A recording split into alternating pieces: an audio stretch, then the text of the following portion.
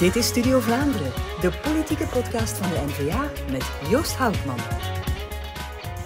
Welkom in weer een nieuwe aflevering van Studio Vlaanderen. Te gast vandaag een man die in het fantastische jaar 1976, inderdaad mijn geboortejaar, de politiek instapte.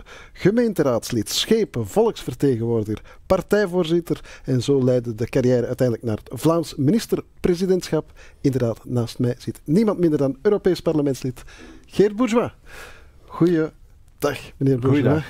Um, voor we in het onderwerp van vandaag duiken, de Amerikaanse Inflation Reduction Act en wat Europa daarop zoal van antwoord zou kunnen dienen, wil ik u eerst een andere vraag uh, stellen. In 1900, ik heb een beetje opzoekingswerk gedaan, noteerde August Vermeijlen de zin Vlaming zijn om Europeer te worden. Nu, vandaag bent u Europeer als Europees parlementslid, maar hoe zorgt u ervoor dat u nog altijd Vlaming bent en blijft binnen dat Europees parlement? Wel kijk, toen wij de NVA opgericht hebben, hebben wij van meet af aan gezegd, we zijn een Vlaams-Europese partij. Mhm. En ik ben hoe langer hoe meer overtuigd van die lijn. Dat is ook een unieke lijn binnen, binnen Vlaanderen.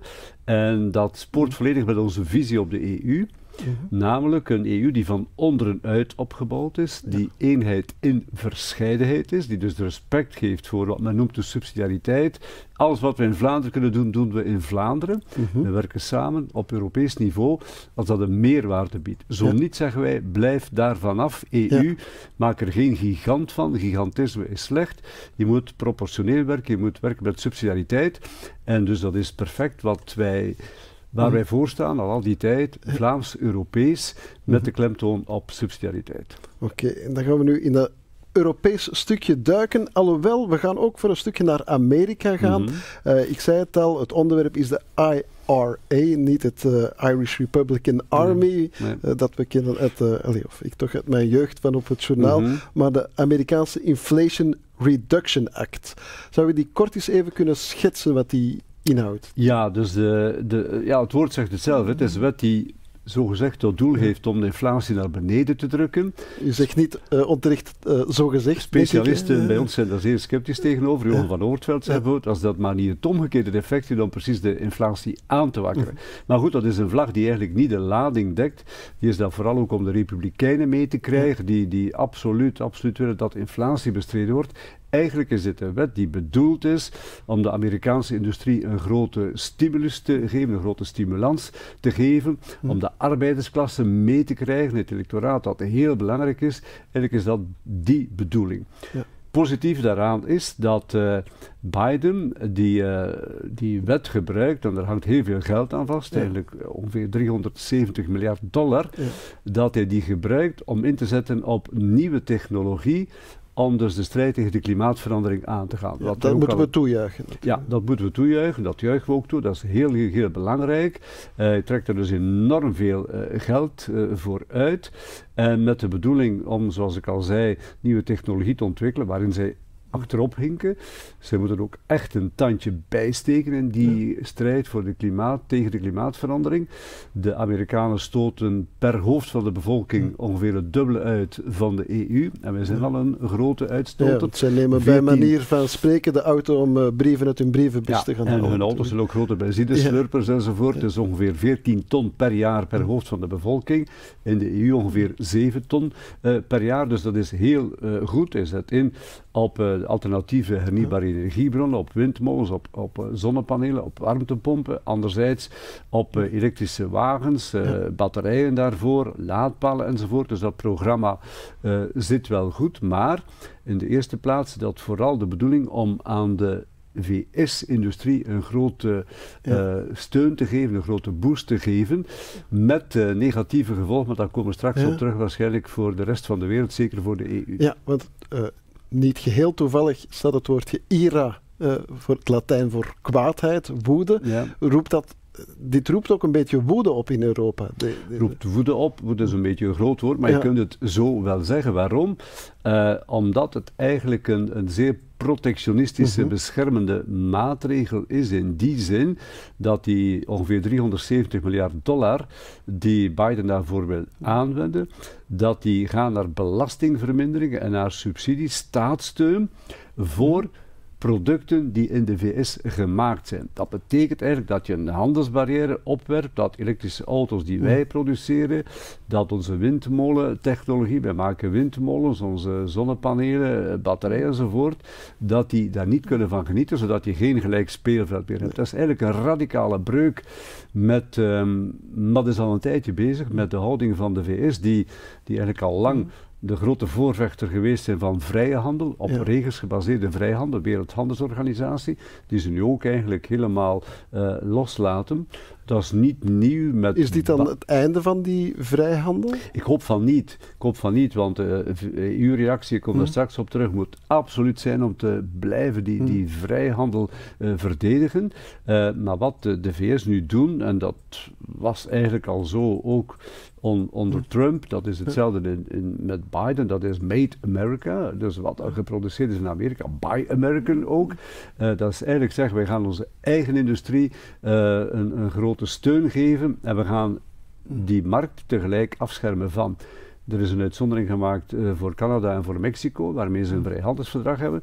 Meteen uh, voor ons een, een grote oproep uh, aan, aan de Franstaligen in dit land. Hè, sluit handelsakkoorden. Wij hebben geen handelsakkoord met de Verenigde Staten.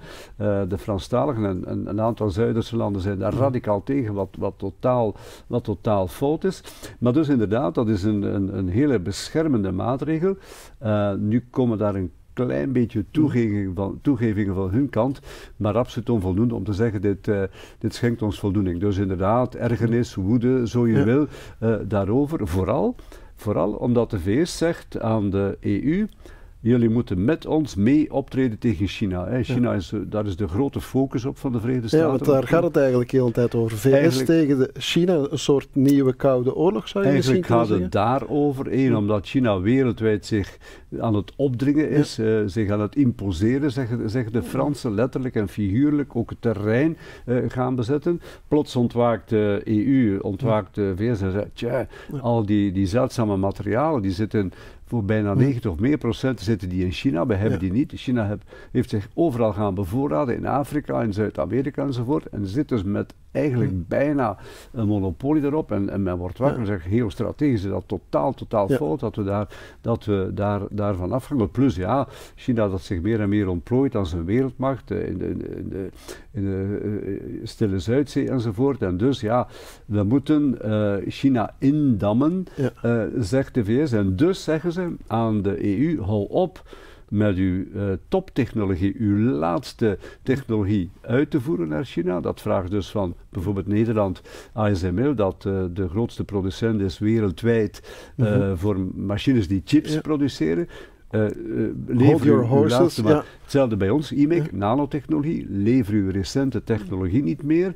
Wees daar een partner in. De EU is geneigd om, om daarin mee te gaan, ook omdat we ook wel inzien dat, uh, dat China, dat is geen vrij land, dat onderdrukt zijn minderheden. Een, een, land waar we toch moeten afstand van houden. Maar tegelijk, en dat is dan het, het, het, ja, het, eigenlijk het controversiële aan heel dat beleid van de VS, ze zeggen uh, of ze vragen van de EU, breng ook offers hè, met ons, ja. dat, want dat is een, ja, een zeer goede markt natuurlijk voor, voor de ja, EU. natuurlijk, je snijdt in je eigen vlees. Voer uw laatste technologie niet uit, wat ons kost, wat ons arbeidsplaats zal kosten, welvaart zal kosten, maar tegelijk behandelen ze ons niet als een partner nee. uh, in, in heel dat nieuwe beleid. Wat ze dan wel doen met Canada en, en, en Mexico, wij zeggen daar tegenover, als je dan toch gaat voor een partnerschap, doe dat met de hele gelijkgezinde vrije wereld. Doe dat ja. ook met Japan, doe dat met de EU, met het Verenigd Koninkrijk, met Canada, met Mexico. Misschien een gigantische met entente En dat je daar tenminste dan, dat je daar tenminste zegt, ja oké, okay, jullie producten, mm. uh, we gaan die ook invoeren, jullie gaan ook genieten van, van die subsidiering. Er zijn nu kleine bartjes ingekomen, er zijn kleine concessies ja. van de Biden-administratie, maar eigenlijk absoluut onvoldoende om ons uh, gerust te stellen en om een gelijk speelveld te ja. creëren. Wat, wat zou dan Europa idealiter dan moeten doen, eigenlijk in dat, in dat gigantisch conflict tussen die twee grootmachten? Wel, de EU moet in de eerste plaats blijven onderhandelen mm. met Biden en proberen ja. te overtuigen. En ik zeg, er zijn een paar concessies ge gebeurd, onder andere voor uh, zeldzame materiaal die verwerkt worden in batterijen, voor uh, leasewagens en zo, maar dat is echt niet uh, voldoende. Maar toch blijven onderhandelen. Mm. Hen wijzen op wat ik daar juist ook zeg. Wij zijn wel partner, wij brengen offers mee in dat indammingsbeleid ten aanzien van China. Maar anderzijds, ja, behandelt ons nu, u niet als partner in, in Behandel deze zaak. ons als de partner die we echt wel kunnen Twee, zijn. wat de EU niet mag doen, dat is eh, eh, vervallen in, in, in wat de VS doet, namelijk gaan voor protectionisme. Wij zijn nu op het ogenblik, ik ben eh, lid van de parlementaire groep in het Europees Parlement die de Wereldhandelsorganisatie opvolgt. Laatste ministeriële conferentie 12 in Genève was het heel duidelijk dat de EU eigenlijk op het ogenblik bijna de enige is nog die strijdt voor die vrije wereldhandel, op regels gebaseerd, faire handel, met arbiters. Als er, als er discussies ontstaan, dan ga je naar de Ja. Wereldhandelsorganisatie om die conflicten op te lossen. Dat ligt nu op apengapen, ook omdat Ja. de VS weigert om nog verder mee te werken. Er is geen beroepsinstantie meer enzovoort. En het risico is dus, en wij moeten daar echt blijven voor gaan, ehm, ten eerste vrije wereldhandel op regels gebaseerd zorgt voor stabiliteit, zorgt finaal ook voor vrede, Ja, handelsrelaties en dergelijke meer en mensen bij elkaar brengen. Twee, het creëert enorm veel welvaart. Wij leven eigenlijk, Mhm. zeker in Vlaanderen, van de handel. Om een voorbeeld te geven, in de EU is het zo dat 1 op 7 jobs van handel afhangt. In Vlaanderen is dat 1 op 3. Dus wij echt, Ja. hebben echt die, die, die vrije handel nodig. Als er natuurlijk barrières komen, als er quota komen, als er tarieven komen, als men zich afschermt, subsidies geeft, staatssteun beperkt tot, ja, dan kom je in een situatie waarin dat gelijke speelveld daar niet meer is. En dan en kom ik op, op, op, op wat u vraagt, inderdaad, riskeert dat de, E- dat de wereld, die na 1989, herinner u, het einde van Ja, de ja, geschiedenis, uur, één, eh, één liberale eh, eh, vrije, vrije markteconomie wereldwijd, maar dat die wereld uiteenvalt in blokken. China, Rusland, met eventueel een aantal aanverwanten, de, de VS, de EU. India, misschien met een aantal partnerlanden, dat het zo niet vast zijn dat we daar echt van weggaan. Dus wij moeten echt blijven zeggen, wij gaan zelf niet protectionistisch worden, wij blijven de promotor Mhm. wereldwijd daarvan. Maar ten derde moet de EU absoluut, en dat vragen we als NVA al heel, heel lang, zelf een industrieel beleid gaan voeren. Er is eigenlijk God geklaagd dat de EU nu wakker schiet en zegt, hola, de Amerikanen gaan zo'n grote boost geven aan hun, aan hun economie, een nieuw industrieel beleid, en dat wij doen dit veel te laat. En dus moeten een heel aantal maatregelen komen. En welke maatregelen zijn op relatief korte termijn haalbaar? Wel, een maatregel die weinig of niets kost, eigenlijk niets kost, dat zijn regels. Dat is dat je die interne markt voltooit. We hebben onlangs eh, in eh, het Europees Parlement 30 jaar interne markt gevierd. Die is eigenlijk vooral gekomen, die is eh, vooral gekomen zeg maar, op aansturen van de Britten in der tijd. Ja. Dat is voor Vlaanderen een zegen. Hè. Ik Ja. ben minder jong genoeg om te weten hoe het vroeger was. Dat je de grenzen niet over kon, dat onze machines de grens met Frankrijk, met Duitsland niet over konden. Er waren andere normen, er waren eh, douanecontroles, er waren belastingen die gegeven werden. Dat is allemaal weggevaagd, er zijn geen grenzen meer, er is geen douane meer. Eh, als je een product beantwoordt aan de Europese normen, dan voer je die uit over heel de EU. Voor Vlaanderen is dat een zegen. Ja. We zijn met 7 miljoen mensen. We hebben een markt, na het vertrek van de Britten, nog altijd van 450 gigantische miljoen markt, ja. mensen. En dat is, die markt is niet voltooid. Die markt is niet voltooid, er is geen digitale markt, er is geen energiemarkt, er is geen transportmarkt, er is geen kapitaalmarktenunie. En er is berekend, niet alleen door de Europese Commissie, maar ook door eh, de, de, de bedrijvenorganisatie in de EU, als je die interne markt voltooit, wat dus ook bestaat in andere landen, kapitaalmarkt bestaat in de VS, dat wij een groei krijgen van 9% van het GDP. Dat is ongelooflijk veel. Dat zijn maatregelen die je moet nemen. Twee zeggen wij al heel lang. Verlaag alsjeblieft die regeldruk in de EU. Die Ja. is onhoudbaar voor bedrijven, voor overheden ook. We zijn overgereguleerd. We leggen altijd maar meer nieuwe regels op. En onder deze commissie gebeurt dat nog meer. Onder Juncker was het nog. één nieuwe regel is één oude regel afschaffen. Daarom niet een wet, een wet, maar wel een gelijke druk. Kost voor de bedrijven, voor de overheden. Ehm, en laat experimenten toe. Wat ze En nu is de slinger een beetje eh, te veel. is veel te ver doorgeslagen. De VS bijvoorbeeld, Verenigd Koninkrijk ook, nu ze weg zijn bij ons, die gaan toelaten dat er geëxperimenteerd wordt, dat je eventjes buiten de regels treedt, wat we ook in Vlaanderen toelaten. Voor artificiële intelligentie is dat bijvoorbeeld bijzonder belangrijk. Er zijn tal van toepassingen mogelijk in de medische wereld, gezondheidszorg en dergelijke weer, dat je met anonieme data, dat je toelaat om een aantal nieuwe terreinen te gaan eh, bewandelen, die niet passen in dat kader van die Ja. Enge regels. Dus zorg daarvoor minder regels, laat experimenten toe, snellere vergunningen. Wat nu de commissie wil doen, voor alles wat cleantech is. Maar wij zeggen niet alleen cleantech, maar voor alle investeringen. Er zijn zoveel dat, is een, domeinen, dat, is een, dat is een drama, hè? hoe lang het duurt om, om iets, iets gerealiseerd te krijgen, privé en publiek. Dus die, die, die, die investeringen moeten, moeten veel sneller. Vier, wat de Vlaamse regering, en wij zijn daarmee begonnen, al heel lang vragen, dat is een een verschuiving in het EU-budget. Er moet veel meer gaan naar onderzoek en ontwikkeling. Uh, wij blijven achter op de wereld en die wereld wacht niet op ons. de Chinezen wachten niet, de VS wacht niet, Israël wacht niet, Singapore wacht niet. Uh, die, die investeren meer in onderzoek en ontwikkeling. Het doel van de commissie Juncker was om in 2020 naar 3% te gaan van het GDP, dat ging naar ONO, onderzoek en ontwikkeling. Wel, mijn eerste schriftelijke vraag toen ik in het parlement kwam, ging daarover. We zaten aan 2,04 of zoiets, of 2,06, afgerond 2%, dus ver van die 3%. Um, we moeten dat doen om te kunnen investeren in nieuwe technologieën. Ik heb het ook in mijn laatste tussenkomst in het parlement gezegd.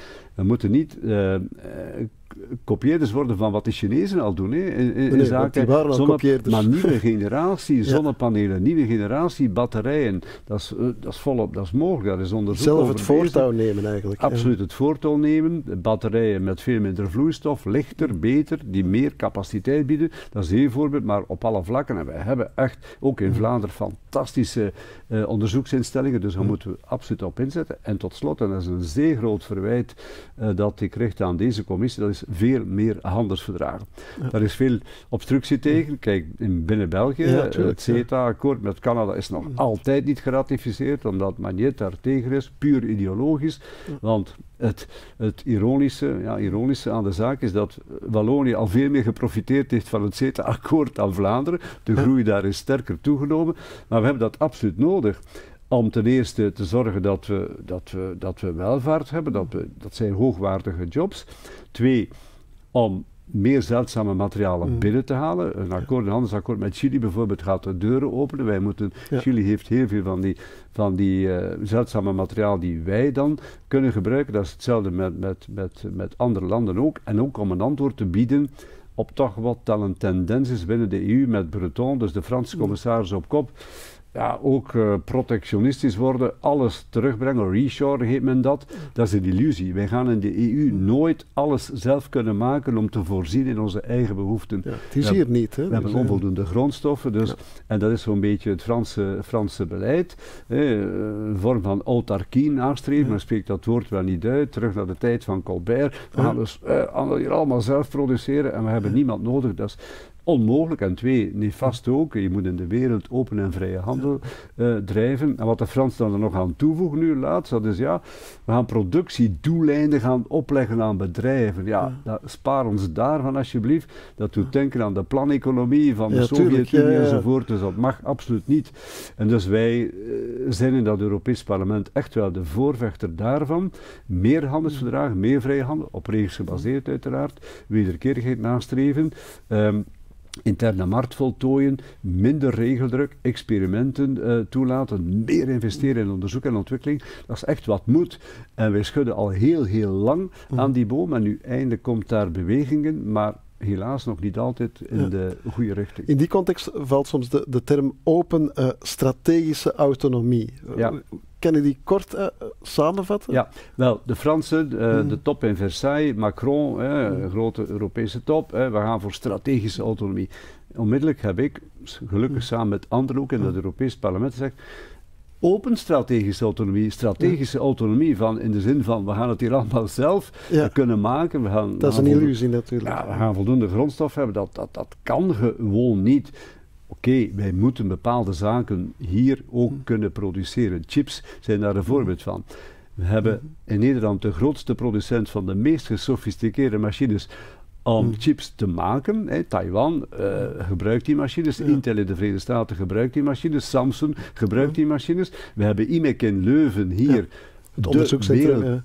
Top, hè, de wereldleider uh, in zaken nanotechnologie. Maar wat wij produceren van, van chips zijn eigenlijk uh, de, de minst, enfin, niet, niet de hoogst ontwikkelde chips, laat ik het, me zo, uh, laat ik het zo uitdrukken. En, uh, dus wij moeten bijvoorbeeld ook die, die, die chips uh, topgeneratie chips hier kunnen produceren. Wat fout zou zijn, is zeggen we gaan nu vanaf nul beginnen met zelfs zo'n fabriek te bouwen. Dat, dat kost tientallen miljarden en dan ga je nog een groot achterstand hebben. Dus het komt erop aan om ja, hetzelfde doen wat de anderen doen en dan de hele tijd achterop. Maar om die Taiwanese of Intel naar hier te brengen, dat is een voorbeeld van strategische autonomie. Ehm, de wereld is plotseling ontwaakt, ook met die omslag naar de groene technologie. Ola, ja, we gaan met batterijen werken, we hebben die zeldzame materialen niet. We hebben dat en dat en dat niet. En dan komt die reflex, we gaan dat allemaal zelf doen. Dat kan niet. Dus wij hebben daar een, ja, een tussenhouding in, zeg maar. Een verstandige. Een aantal strategische zaken moet je hier hebben. Je moet ook een aantal strategische voorraden aanhouden. Ik refereer aan de mondmaskerzagen, ja, waar plotseling bleek dat we er geen hadden. Wij hebben als eerste gezegd, je moet zorgen voor rollende voorraden, strategische rollende voorraden. Laat ze niet vervallen, maar gebruik ze. Maar zorg dat je, als er iets gebeurt, weer wereldwijd, aanvoerlijnen die afgesteden zijn enzovoort, dat we hier voor een heel eind weg kunnen. Dus je moet daar een middenmaat in hebben, middenmoot in aanhouden, waarbij je zegt, we gaan hier wel zorgen dat we een aantal zaken strategisch zelf kunnen maken, maar je moet ook je aanvoerlijnen openhouden. En je moet die diversifiëren. Dat je niet afhankelijk bent van in grote mate van één uh, land om in te voeren. En dus we hebben echt gezegd, en dat wordt nu overgenomen in de EU. Uh, het is niet, men spreekt niet langer over strategische autonomie, maar gelukkig zijn we erin geslaagd om ervan te maken open strategische ja, autonomie. Dus minder naïef eigenlijk ook. Minder naïef ook, ja. En, en echt, ja, uh, ja, zorgen dat, dat hier echt welvaart gecreëerd wordt en vooral niet zelfgenoegzaam zijn. Denken dat wij, dat wij wereldwijd de beste zijn. Dat, wij, dat is niet zo. Hè. Zoals ik al zei, de wereld wacht niet op ons. En dus echt investeren in onderzoek en ontwikkeling. Vlaanderen scoort daar heel goed in. We zitten al een heel, heel stuk boven de 3% van ons BNP dat naar ONO gaat. Maar dat is echt de sleutel. En tegelijk dan handelslijnen openhouden, blijven uh, promotor zijn, de toppromotor zijn van die wereldhandel op regels gebaseerd, vrije handel. En wat onszelf betreft ook ja, open op de wereld. Ja. ja. Allemaal bijzonder helder uitgelegd, meneer Bourgeois. Het beantwoordt eigenlijk al wat ik vanmorgen vroeg aan het denken was. Namelijk, ik was vanmorgen met de hond aan het wandelen en dan overloop ik de dag die gaat komen. En dan mhm. dacht ik, die Ger Bourgeois, dat is eigenlijk een man van rede en vrede. Herkent u zich in die, in die omschrijving? Uh, die plots ineens in mijn hoofd schoot. Ja, rede en hm? vrede, ja, inderdaad. Uh, ook niet naïef. Hè. Vrede niet in, niet in de zin van we gaan eenzijdig ontwapenen of zo. We zien nu met de barbaarse agressie van Rusland dat we echt wel moeten mhm. voorbereid zijn op, niet om agressief te worden, maar om je te kunnen verdedigen. En dan, dat oude Latijnse, Romeinse gezegd, als je de vrede wil, bereid dan de, de, de ja. Eh, bereid oorlog voor, maar niet om, om agressief te zijn. Uh, maar ik vind wel dat de EU daar een zeer grote stabiliserende rol moet in spelen, inderdaad, dat wij een factor van vrede en stabiliteit uh, moeten zijn. En we moeten ook de reden hebben, hè, want er is veel te veel vandaag dagjespolitiek, emotionele reactie onmiddellijk uh, een, een, nieuwe regel uitvaardigen of een nieuwe wet gaan maken omdat er zich iets voordoet. Doe dat met, met, met uh, grote reden en, en zorg dat je eigenlijk, om het erop neer, goed bestuur hebt. ja. ja. Fantastisch. Dank voor de bijzonder heldere uitleg over Europa, de Inflation Reduction Act over China. We hebben ongeveer mhm. alles uh, aangehaald. Dank, meneer Bourgeois. En we gaan zo over naar de volgende minstens even interessante rubriek: feit of fictie. Ik ben Koen Daniels, Vlaams parlementslid voor de NVA. En deze week heb ik samen met mijn collega's een voorstel gedaan om extra leerkrachten aan te trekken en warm te maken voor het onderwijs en onze huidige leerkrachten te herwaarderen. Het leraartekort is iedereen bekend en dus is het belangrijk om zoveel mogelijk leerkrachten aan te trekken naar onderwijs. En dat doen we met een nieuwe maatregel, het dienstverleningscontract. Dat wil zeggen dat bedrijven die werknemers hebben die al een pedagogisch diploma hebben, dat we die proberen warm te maken, aan te trekken naar het onderwijs, door met die bedrijven contracten af te sluiten waarbij wij het deeltje van het onderwijsloon betalen en de bedrijven eigenlijk het andere stuk van het loon dat extra is in de privé, om dat bij te betalen. Twee, we hebben met de zij-instroom al belangrijke maatregelen genomen, onder andere die anciëniteit. We hebben nu mensen die in onderwijs aan de slag zijn en die ondertussen nog een lerarenopleiding aan het doen. Wel, wij zorgen dat zij de uren stage die ze op school doen, dat die uren meetellen voor hun rechten in anciëniteit, zodat als ze dan worden aangesteld, dat ze dat direct meenemen. Daarnaast creëren we ook de functie van een adjunct-directeur in het basisonderwijs. Dat bestaat vandaag nog niet. Die directeurs die hebben eigenlijk heel wat, uh, heel wat werk op de plank. En door die adjunct-directeur kunnen we ook in die basisscholen de leerkrachten beter ondersteunen, planlast weghalen en ook daar een HR-beleid voeren. En daarnaast geven scholen ook nu echt een HR-tool in handen. Want vandaag bestaat dat nog niet echt.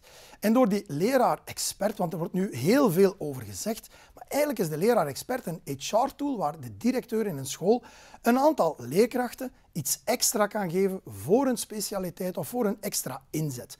En dat kan gaan over leerkrachten in hele moeilijke klassen. Dat kan gaan over leerkrachten die extra inzetten op Nederlands. Dat kan gaan over leerkrachten die beginnende collega's extra ondersteunen. Kortom, iemand die iets extra doet. En de kritiek dat dat zou kunnen leiden tot vriendjespolitiek, laat ons eerlijk zijn. HR-beleid, als je dat voert en je voert het fout, dan verlies je leerkrachten. Er is geen enkele directie die zich vandaag kan permitteren om een lerarentekort te creëren door niet de juiste mensen dat uh, extra mandaat te geven. En ik vind het jammer dat ik vandaag moet horen van de socialisten dat dit maar losse maatregelen zijn en ballonnetjes en geen lange termijnvisie. Wel, ik stel vast dat we deze maatregelen naast de vele andere maatregelen die Men Wijts al heeft genomen, eraan toevoegen. Extra maatregelen om te zorgen dat we leerkrachten aantrekken en herwaarderen. Want wat we vandaag aan het doen zijn, is de gevolgen van het beleid van de jaren daarvoor rechttrekken. Want vergis u niet, van de afgelopen 31 jaar hebben de socialisten gedurende 17 jaar de minister van Onderwijs geleverd. 17 jaar. En nu proberen wij recht te trekken wat toen is ontstaan. Want onderwijs is nu typisch de sector waar men oogst, vele jaren later, wat men zaait. En nu zijn we dat aan het rechttrekken met onze kapitein Ben Wijts en de NVA op onderwijs nemen we maatregelen om dat recht te trekken. En is dat één groot lerarenpact? Nee. Waarom niet? Wel, de vorige ministers hebben dat keer op keer geprobeerd en het is nooit gelukt. De kar werd volgeladen en er gebeurde niets. Nu nemen we maatregel naar maatregel naar maatregel die het mogelijk maakt dat maatwerk te doen. Want elke leerkracht die we aantrekken en elke leerkracht die we houden, wel, dat is er één gewonnen. Want die lange termijnvisie is voor NVA voor mij zo klaar als een klontje. We moeten zorgen dat er leerkrachten zijn, dat die leerkrachten kunnen lesgeven, weg met die planlast, dat ze zich kunnen focussen op de belangrijke zaken die er zijn, Nederlands en wiskunde, die de basis vormen voor al die andere vakken, om op die manier onze onderwijskwaliteit opnieuw op te krikken. Leerkrachten herwaarderen, leerkrachten aantrekken, onderwijskwaliteit omhoog. Daar gaan we voor, voor met de NVA, nu en ook in de toekomst. Dit was een Europees getinte Studio Vlaanderen. Dank aan mijn gasten, dank ook aan u om te kijken en te luisteren. En op naar een volgende Studio Vlaanderen.